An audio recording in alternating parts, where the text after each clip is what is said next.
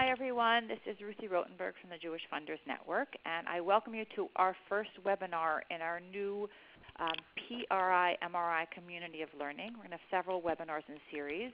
Today we're very excited to have Deborah Schwartz from the John D. and Catherine T. MacArthur Foundation, who is going to be doing an introduction to PRIs. Deborah has extensive experience in the field. She is the Managing Director of Impact Investments at the MacArthur Foundation. I want to just go over two quick technical things before I hand it over to Deborah. Um, if you could please mute your line with star 6 or your mute button, and any questions you have for Deborah, please put in the chat window. We're going to let Deborah go through everything. If you have questions along the way, put them in the chat window. If there's time at the end, she will hopefully get to all of them.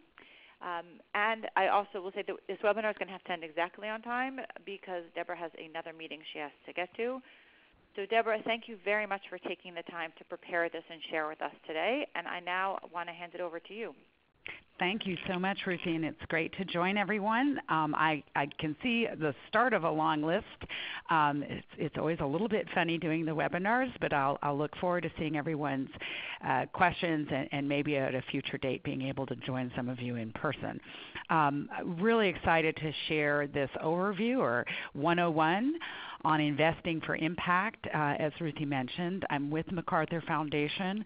We've been making impact investments uh, in the form of PRIs uh, for 30 years. We've deployed $500 million, uh, mainly in the U.S., but also around the world. And uh, we are always delighted to share our experience, uh, any kinds of tools or guidance or advice that we can. Um, and we're just thrilled by the growing community and diversity of folks who are interested in uh, impact investing. We do have the ability to make mission related investments, and in a minute I'm going to show you some diagrams that will hopefully parse a little bit of the uh, kind of technical confusion that can arise around all these different terms. So with that, um, I will make a shameless plug and say we hope you'll follow MacArthur at MacFound on Twitter if that's um, your bent, and I also can be followed uh, at Impact Banker. So I'm going to start by uh, just showing you a diagram I used to use when I would talk about impact investments. And if you're old enough, you will know that's a push me pull you uh, from Dr. Dolittle Little Vintage. Um, I don't think that's a good picture anymore, and I've rejected it, and I'll show you another one in a second.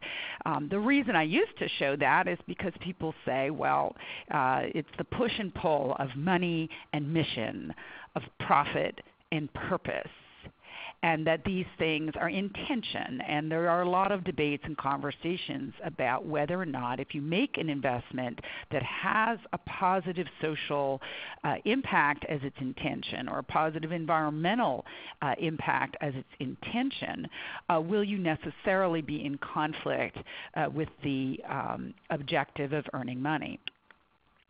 So, uh, like I said, I, I, reject that as a kind of false dichotomy and instead have adopted the bicycle, which I hope all of you can see.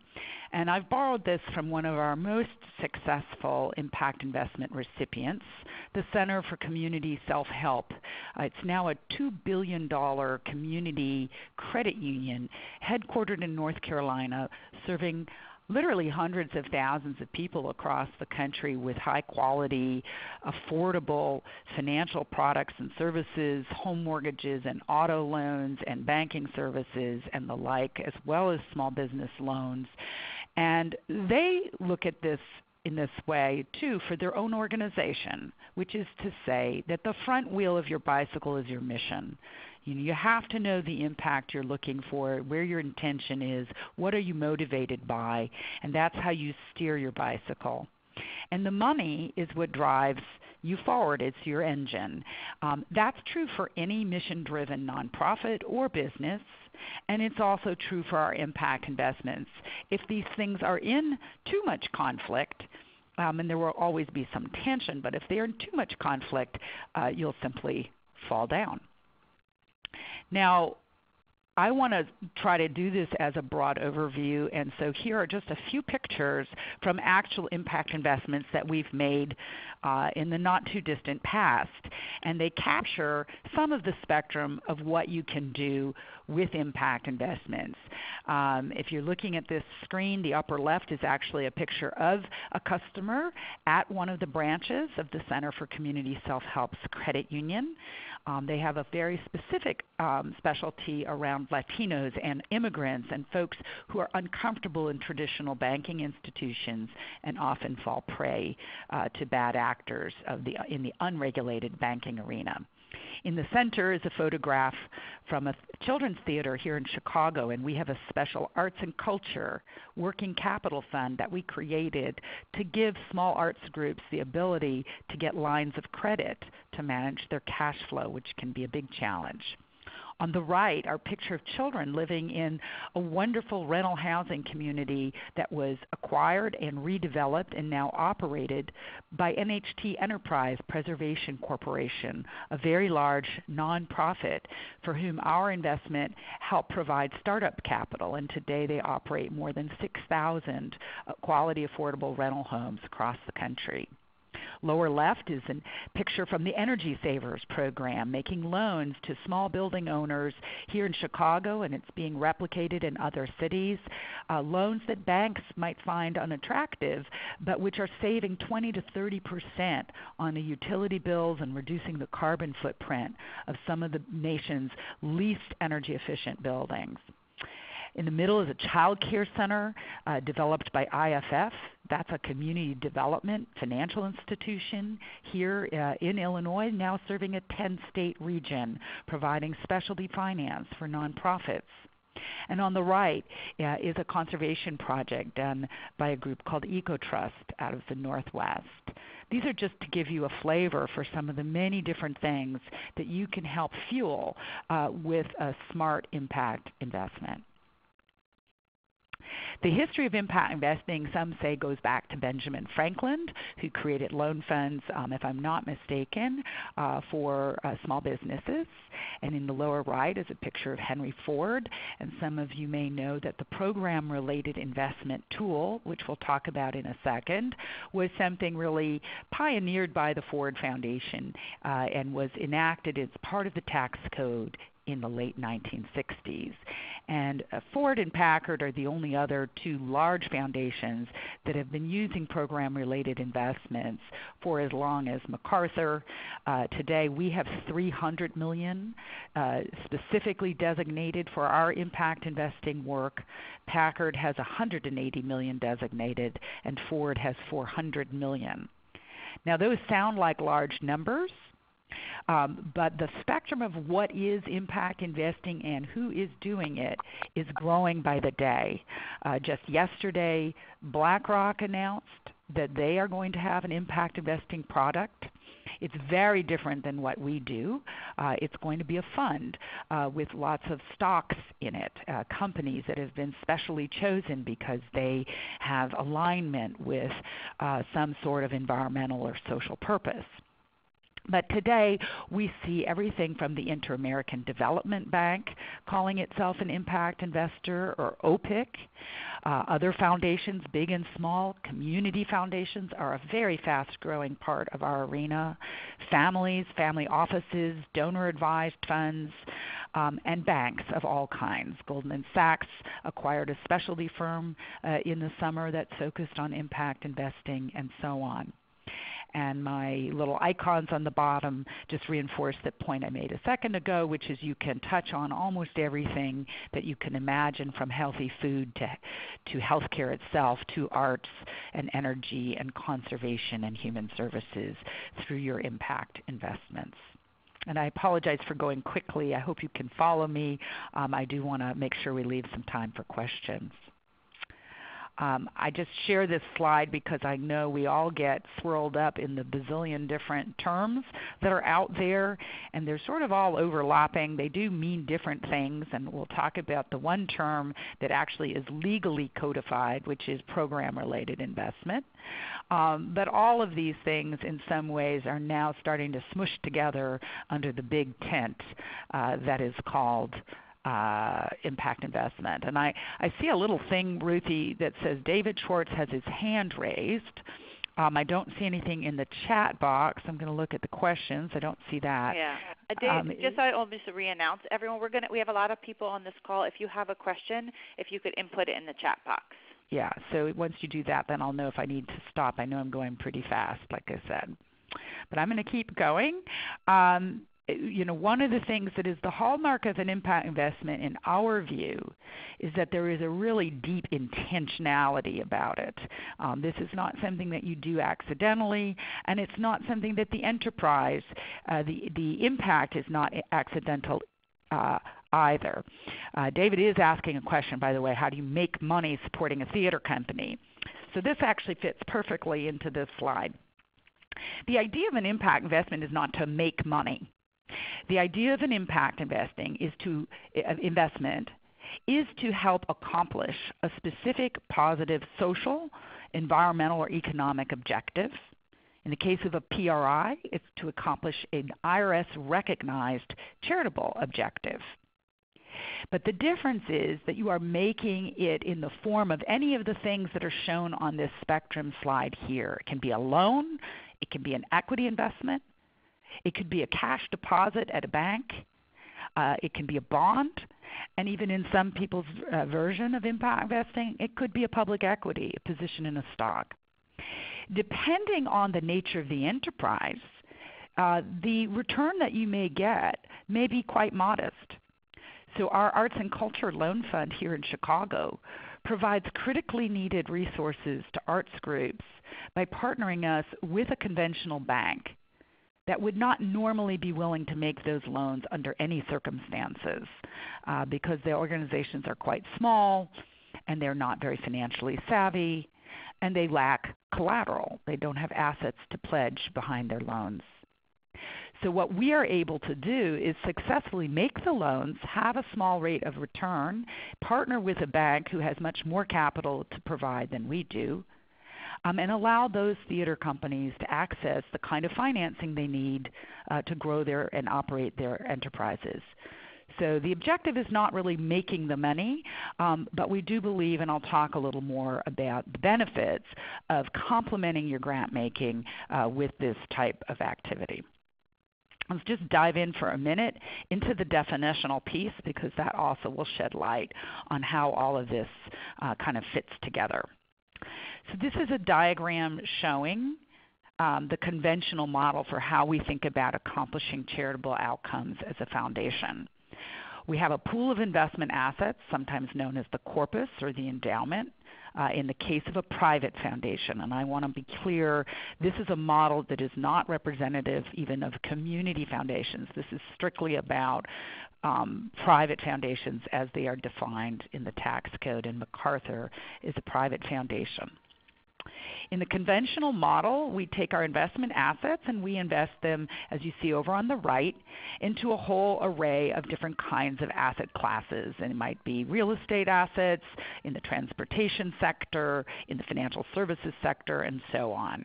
Technology is not on this list, but it could be. Oh, there it is, information tech and we earn a variety of returns, and then we use the returns on those assets up above to make grants and those grants need to qualify under the IRS definition of being a charitable distribution if they fit within the IRS definition of charitability. And we refer to that distribution as the quote unquote payout. And the IRS rule says you need to make a minimum of distribution of 5% of your assets each year, although it's slightly more technical when you think about how it's calculated. In this slide, we've now added program-related investments to the right of grants. And PRIs are indeed the only legally defined form of an impact investment. It is technically a term that only applies to private foundations. So if you're just an individual or a donor advised fund or a community foundation or corporate foundation, you may not, in fact, be uh, really able to make technically a program related investment. The idea of a PRI is that you're allowed to do something with your assets that's quite unusual and maybe too risky to do with your normal assets because private foundations are prohibited from knowingly making jeopardizing investments. That's the technical term for things that run afoul of, of um, just good, prudent stewardship of your assets. So program related investments are allowed to be rather unusual and unconventional, and in fact, the way that the rules are written, they have to be a little bit unusual, and that's how you prove to the IRS that actually your principal goal is to achieve your charitable purpose. You do have to be inside the lines of what the IRS considers charitable. It's not just something you feel good about, um, just like with your grants, and it counts toward your payout in the year that you distribute a PRI. The difference is you'll see a little blue arrow dashed coming back from the PRI to the investment assets. So the difference with a grant, you go one way. You distribute it to the recipient and you're done. With a PRI, you set it up so that if it's a loan, you provide it to the recipient, they use it for the intended purpose, and then they pay it back to you, typically with some amount of interest or return. The difference is that again, uh, for the IRS definition, it often means that that return is quite a bit less than what you might expect uh, in a conventional investment setting. And for our purposes, the reason that's great is it means we can accommodate the specific challenges of nonprofit organizations and others that might not be able to successfully use conventional investment dollars. And this last two slides just show you what MRIs are, and the difference between MRIs, mission-related investments, and PRIs is this. PRIs, again, are this defined thing under the tax code that you distribute and for which you receive charitable distribution or payout credit. MRIs are something you do with your corpus, with your investment assets, and it just means you have a higher degree of an intentionality with those around the positive social benefits you want to accomplish than with the rest of your investment assets. So that's what's in the lower green gray box to the right.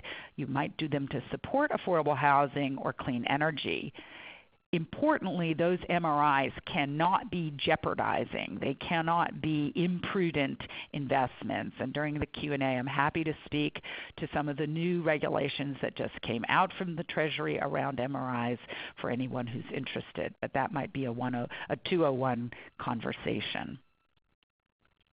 And then finally, I'll just say that for some people, MRIs and PRIs uh, can also be accompanied by what's called an all-in approach, which is to say you not only make some affirmative investments that further your um, environmental, social, and economic interests, but you may also actively screen out things that you believe run counter to those philanthropic or social objectives. And so that's what my little red and blue box is trying to say, that you're actively screening out things that you don't want to invest in. And the most prominent thing today is the climate um, and fossil fuel divestment movement. Um, I'm not going to spend time on this slide, and Ruthie, I don't know if you'll be able to make this deck available to your participants and members, um, sure. but this is just another way of visualizing what I just showed you, which says that there's really a spectrum all the way from traditional, traditional grants that by definition have no uh, investment return, all the way to conventional investments and everything in between. I'm not wild about the terminology of below market to market rate return. We, I would use a more nuanced language today, but that sometimes is a helpful way for people to think about this. I want to quickly, before we uh, open things up for questions in about six, seven minutes, I want to just take a little bit of a deeper dive into why we do this kind of investment work and where it applies. First of all, it's only going to make sense with organizations that actually have a revenue generating business model.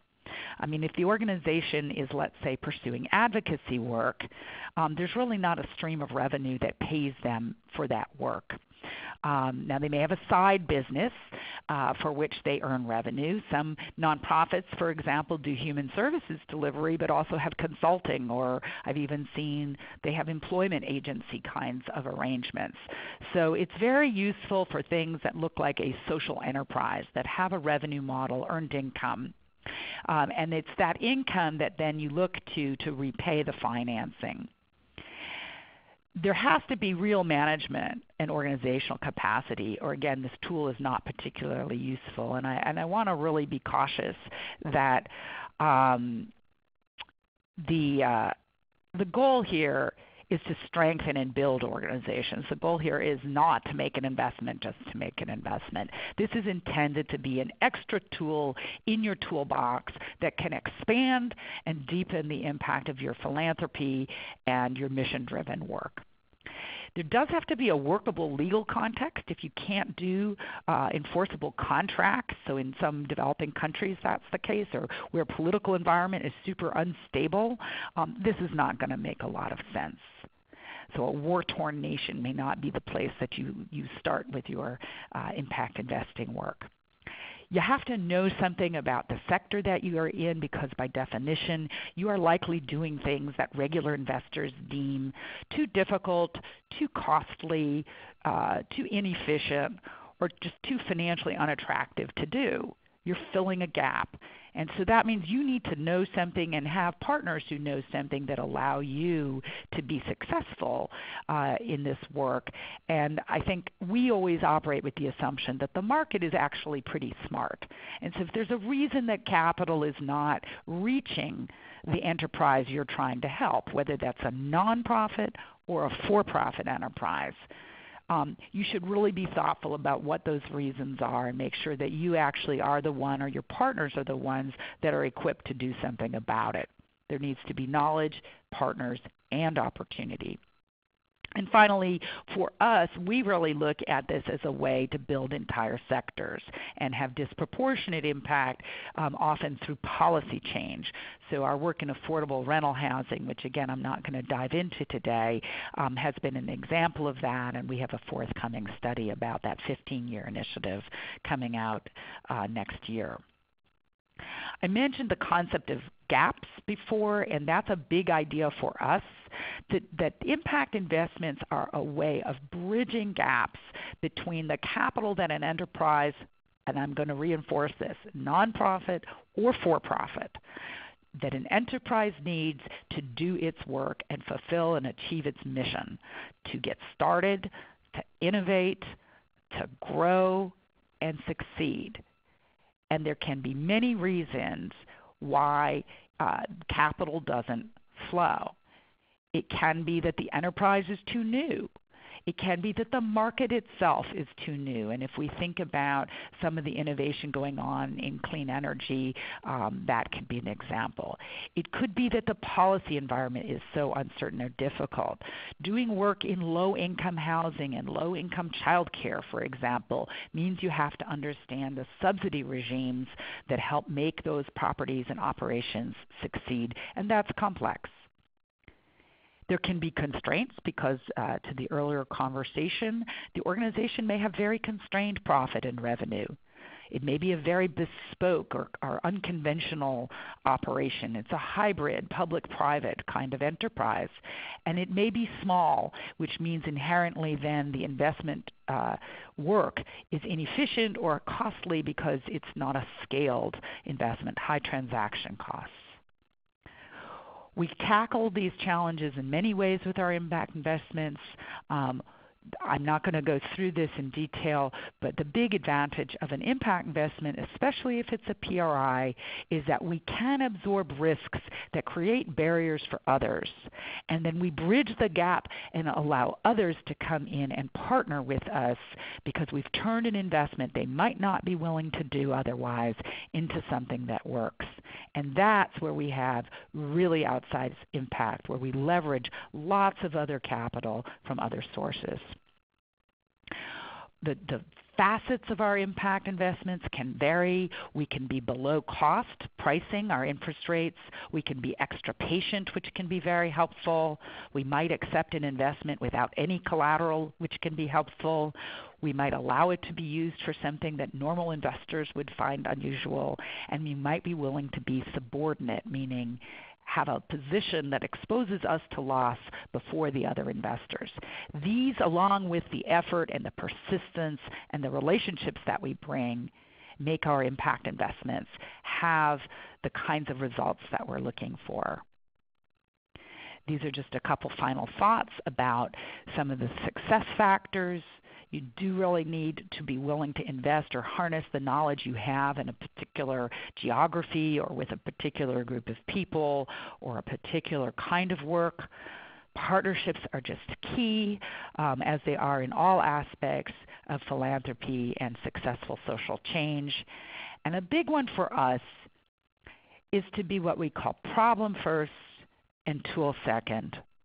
I think where this falls apart is when folks start by saying, I want a five year loan that's going to give me a low risk 7% rate of return, and I'm going to end poverty with that. Well, you just started with your tool the, the kind of loan, the kind of return, the kind of duration that you want. And then what happens is the problem you want to address maybe isn't going to be solved we start by looking at what's the issue. Is it trying to unlock capital for an arts group in Chicago, or for land conservation, or for building schools, or financing auto loans for immigrants? And from there, we do the problem solving to figure out what's the right way to use our flexibility and creativity to, to bridge the gap. Um, that's why I often say that scaled and successful solutions to really deep capital gaps need to be made, not found. I'm not of the opinion that you know all investment impact investment is about is just looking really hard. In our experience, there has to be some real hands-on work that somebody's prepared to do uh, to bring the capital markets together uh, with the organizations that need that resource on the right kinds of terms in a fashion that really works. We also like impact investment because it's an efficient way to use some of our resources. If it does make sense, it can be a way to have capital that recycles, which is different than grants. It can allow for proof of concept, and then the enterprise can go on to get money from others. It can help strengthen an organization. It creates um, visibility to the business model and the thinking and the management, and it engages us in a whole different kind of conversation with our uh, capital recipients than a grant.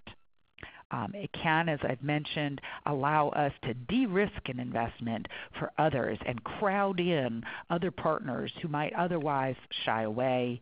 And it can be a, a fuel for building out whole sectors, like in affordable housing, uh, for example. There are some downsides uh, it can be difficult. I'm not going to actually uh, sugarcoat that. It's not as hard as people think, and I'm happy to talk about ways we can make that easier for anyone who's interested. Um, but at the end of the day, there are legal opinions that are required. There's financial analysis that's required, um, and it's not um, helpful to do it in a casual way because you may uh, both undermine your own objectives and you may actually set an organization up to fail, and that's certainly not, that's going to be counterproductive. Social impact of the deepest kind is always difficult, and I think we always struggle in impact investing between the outcomes and the impact, and so it's no diff- different here. Um, we, we often make our investments for 10 years, so you have to be prepared to be in it for the long haul, and that can be different than other kinds of grant making. And organizations get in trouble and you have to be prepared for that, and things can really go wrong. And um, that's a challenge that you should be thinking about uh, before you dive in. But we think on balance, it's a wonderful adjunct to conventional philanthropy in the right circumstances for the right organizations. I'll just leave you with saying that in our affordable rental housing work, again in the upper right corner, we've provided capital to about 25 nonprofits around the country and a whole slew of specialized public private funds. And we've unlocked over $15 billion of new capital from public and private sources over the last 15 years, providing improved, high quality homes for literally hundreds of thousands of low income seniors and veterans and the formerly homeless and families and people with disabilities. Um, and we've done all these things uh, by you know really applying our capital in a focused and creative way. And I uh, am a believer in this instrument when it produces those kinds of results. It is not a substitute for grants. Uh, it is an adjunct. Um, there's some examples here that I'll leave you with. It can be a loan for a specific project. You could be making a loan to a nonprofit or a business. You can make an investment. You can put your money into a loan fund or a credit union. And those are often easy ways to get started. And you can also provide guarantees and help others uh, decide to make loans because you're willing to take some of the risk. So that's it for my run through. I'm sorry, I'm at four minutes past the top of the hour. I see some questions. I'm going to try to scroll up if I can figure out how to do it. Do you want me to um, field the questions for you? I think you better because I I can see the questions, but um, let me see. Maybe I can figure out. No, I can't figure out how to scroll up. Yeah. So uh, the first question we have: If you make an MRI and quote make money, do you mm-hmm. have to give out that amount over and above the five five percent? Great like question. PRI? No. So an MRI is truly not really a thing. It's just a way of sort of thinking about your investment or endowment assets.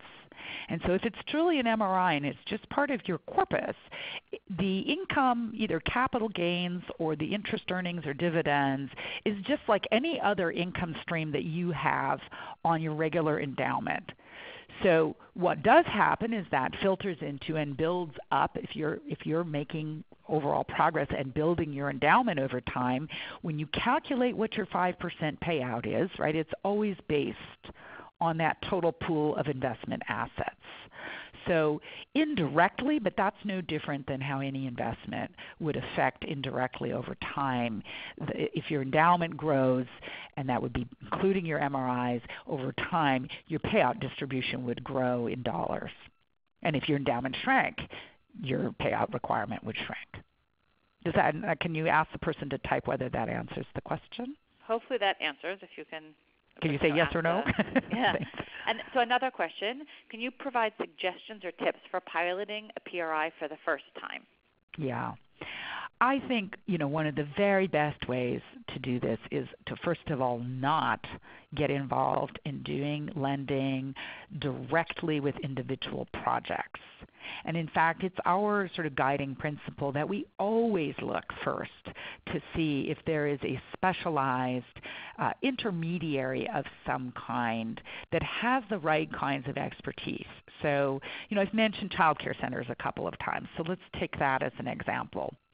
I don't want to try to figure out whether or not a specific child care operator has a great plan for this wonderful facility that's in a community that maybe I really care about as a funder and I want to see that facility go in, or maybe I'm really focused on early childhood.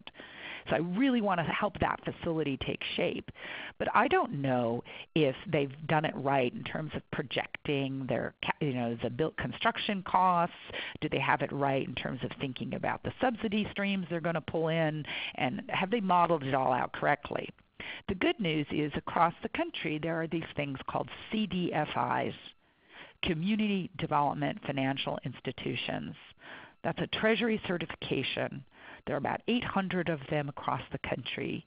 If you want to know more to find them in your area or in your area of interest, um, you go to opportunityfinance.net and that's the network of CDFIs, and they can come in the form of loan funds and credit unions and venture funds and banks.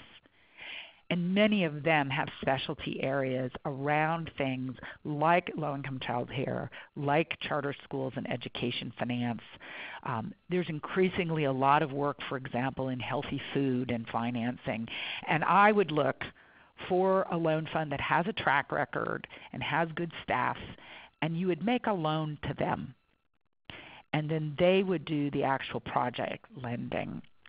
If it's a credit union, it's incredibly easy because you can just put a deposit, and the same thing for a community bank. And again, if you've asked a question and I've now rattled off an answer, if you want to um, type a yes or no. Uh, Deborah, can you also address the new regulations that came out briefly? Of course. That I know yes. got a lot of people a little bit nervous about this. Well, actually, we I hope it, it got the opposite effect. So the IRS um, did release some anticipated uh, clarifying information about MRIs, about mission-related investments. Now, again, I want to be clear mission related investments are not a designated term in the tax code the way PRIs are. PRIs were added in 1969. They are a specific exception to Rule 4944. That's the rule that prohibits a foundation from knowingly making a quote unquote jeopardizing investment with its endowment. Jeopardizing investments are relevant here because the whole reason some foundations may have been nervous about making MRI investments was if it wasn't a PRI, meaning it wasn't a, a clearly charitable purpose investment with clearly other kinds of characteristics that made it a PRI, it started to be in this fuzzy gray space.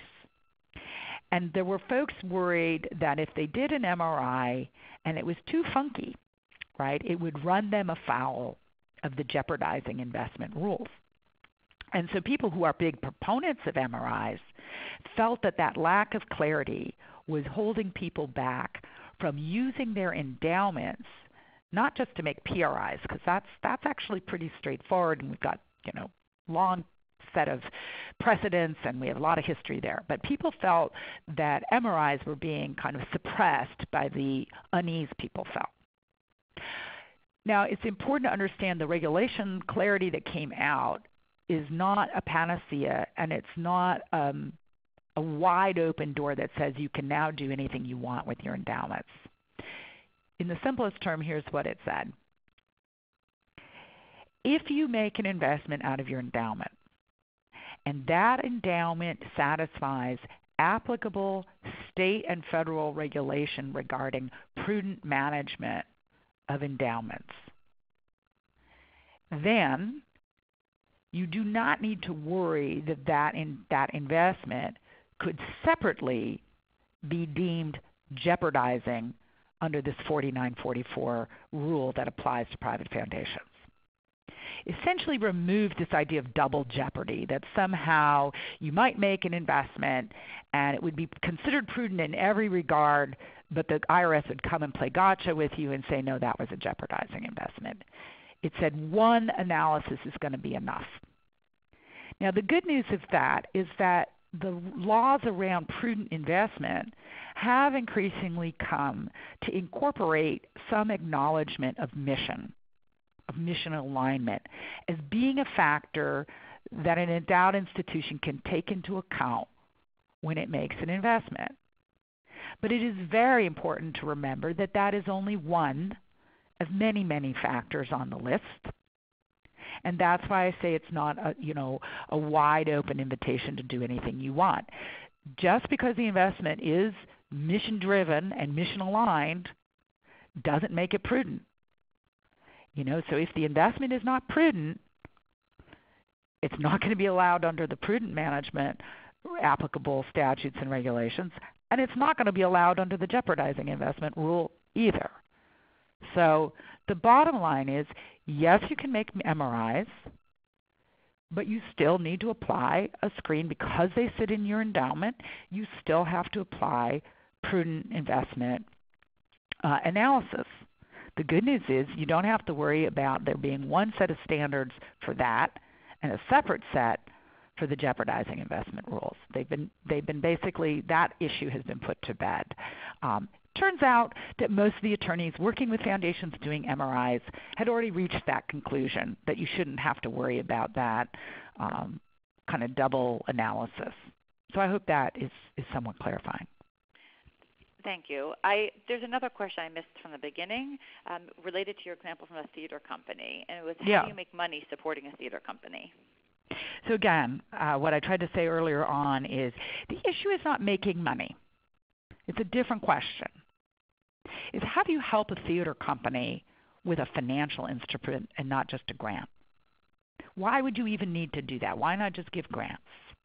And the answer is this because theater companies are businesses, even if they're nonprofit, and they are businesses that happen to have a great deal of cash flow challenges. And I, I know this personally because my husband, uh, for 30 years, has been a theater photographer for nonprofits in Chicago and the Midwestern region.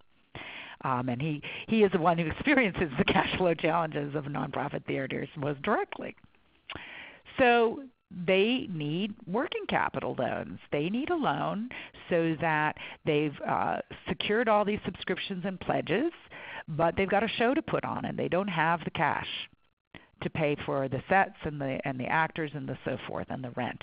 And they also may not own a building and they may have no capacity to pledge any kind of collateral, you know, any kind of assets. Like when you get a home loan, you have a house and you pledge that. But they don't have any assets. So they're very, very unattractive for normal banks to work with from a working capital standpoint. So that's an example where being willing to provide those loans because we're confident that those theaters are doing a good job running their operations and that they're going to be able to successfully manage credit and recycle that credit and borrow it and pay it back and borrow it and pay it back and use it to bridge those cash flow gaps why would you give them a grant for that? Because in part, you almost want, right, to build up their reputation as a credit worthy borrower because hopefully over time some of them won't need your help anymore. They'll be able to go to a bank and say, Look, I have a five year track record. I've been using this credit line successfully. Now you should just give me that product yourself that's a perfect example of strengthening an organization, teaching it about using credit and what it looks like to write a proposal to a bank and fill out the application, and then over time helping them graduate to a more conventional source of financing. So, I, so it's uh, we do require interest payments, but that's because you wouldn't be proving much to that conventional lender if the theater showed up and said, "Yes, I used credit, but I could never make an interest payment." So it's not going to be a way to make lots of money. This is not an enterprise that's going to have a high margin for you, um, but we can get some interest off of it, and it's it's not for our purposes. It's for the discipline and the demonstration. I see a question about CDFIs. Yes. Um, should I answer that, Ruthie? Sure. This one is that there are no CDFIs that do social impact investing to Jewish nonprofits. So that model. So I wonder if the person who's saying that um, can clarify for me what kinds of nonprofits we're talking about. I'm I'm going to guess it's things that are overtly Jewish. But but why would they not make loans to things that are overtly Jewish? I don't understand. What what kinds of things do they provide these nonprofits? What kinds of things are they engaged in? I'm going to guess if if the person out here, religious and Jewish cultural organizations. Okay. So the issue with that is go back. It hasn't got to do with CDFIs. This is more fundamental. This is the question of whether financing is relevant. Go back to my very, very first slide, and maybe I don't know if I can go, Ruthie, if I, I can figure out how to do it. The one but if we go double. No, if we go all the way back, one of the preconditions here is this is um, only going to be relevant where there's earned revenue, right? Now, if it's a cultural organization like a theater that has earned revenue, and there's certainly I, I know someone that I grew up with who runs a theater company, and it's a very overtly Jewish themed um, theater company. There's absolutely no reason that they couldn't get loans from a CDFI to build a facility, uh, to get working capital loan like I was talking about. So I think it's important to focus not on the religious designation of the work, but what is the activity of that enterprise? And is it an activity for which financing and investment may be needed either episodically to build a building or on an ongoing basis to provide other kinds of capital um, or expansion capital. So I can think of lots of cultural organizations um, of every uh, denomination and type that do need to build buildings. And that is a perfect thing uh, for a CDFI to assist with if the organization is not sufficiently resourced and scaled to the level that it would be attractive to conventional lenders. So, um, it, but if you wanted to just give it money uh, for um, you know just j- basic operations, um, and there's no way for that money to be paid back because let's say it's an advocacy group uh, or it's a group doing educational um, programming, and it doesn't really charge meaningful um, fees because that's not consistent with its mission, then financing is really not the right tool. The right tool might be a grant. Um, so I think the, the starting point is not um, because I, and I can just say in my housing work, we have every uh, religious denomination I can imagine represented within our portfolio, and some I had never even known about until we started working in that field. Um, and I do know that there are uh, Jewish organizations that are very involved in providing housing and other kinds of services um, in their communities. And again, if they're operating facilities, if they're building things, um, and if they're running things that have contracts with state agencies that provide them uh, reimbursement for services rendered, they often need, again, uh, working capital and they often need uh, uh construction, financing for construction. So I don't know, Wendy is the person asking that question. Um, does that, is that at all um, helpful to you. Wendy, I hope that's helpful. There, we have a few more minutes if anyone has any more questions. You're welcome. I'm saying you're welcome to Wendy. this is an interesting format. yes. Sorry, we have a lot of people on the call. Will give it about one more minute in case anyone is typing questions. Um, yeah, I'm happy to stay on right until 11:30. So. Thank you. And I have also, in the meantime, if you look on your screen, you'll see the upcoming webinars that we have. And we will have this, the recording of this webinar available on our website as a resource. So if you want to go over things, and if anyone would like the deck, uh, please email me at ruthie, R-U-T-H-I-E, at jfunders.org, and I can shoot it over to you.